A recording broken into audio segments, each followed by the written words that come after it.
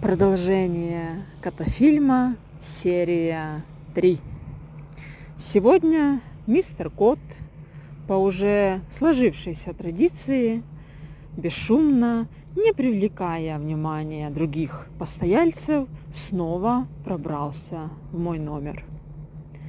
Оценив обстановку и, видимо, решив, что мы уже достаточно близки, чтобы перейти к более активным действиям, он прыгнул в мою кровать.